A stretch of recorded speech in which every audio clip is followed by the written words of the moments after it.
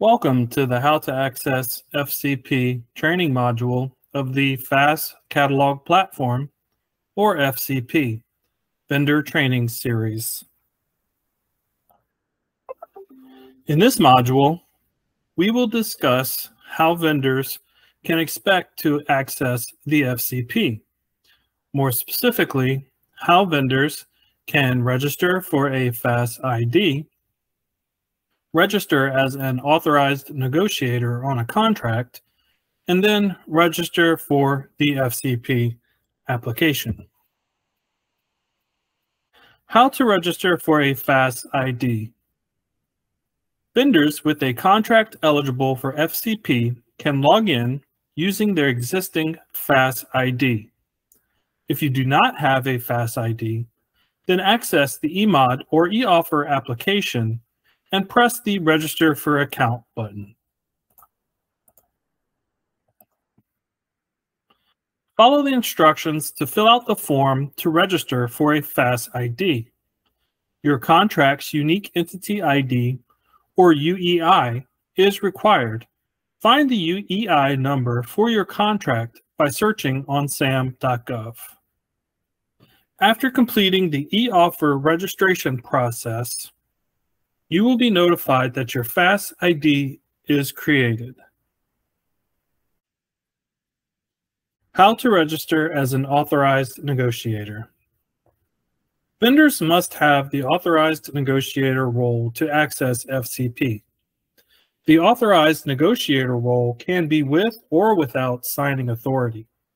To be added as an authorized negotiator to a contract, either have an existing authorized negotiator submit an authorized negotiator modification request via eMod eOffer or submit the authorized negotiator modification request yourself by navigating to the eMod eOffer application, press the Submit a Modification button, Navigate to the contract you should be added to by first entering the UEI.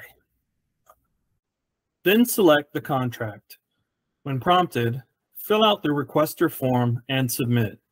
The request will then be available for approval by the existing authorized negotiator on the contract. Once the authorized negotiator modification is approved, then a nightly process runs to update the authorized negotiator list on the contract.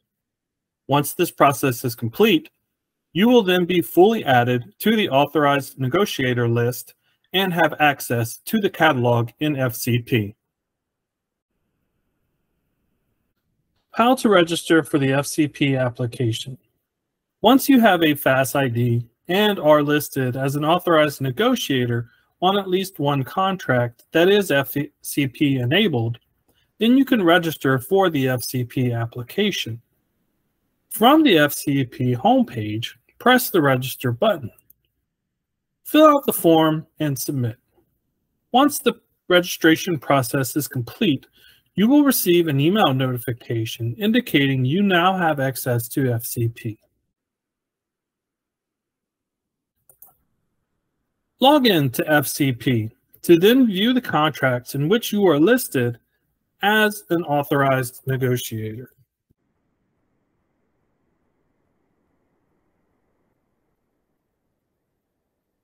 Time for a knowledge check.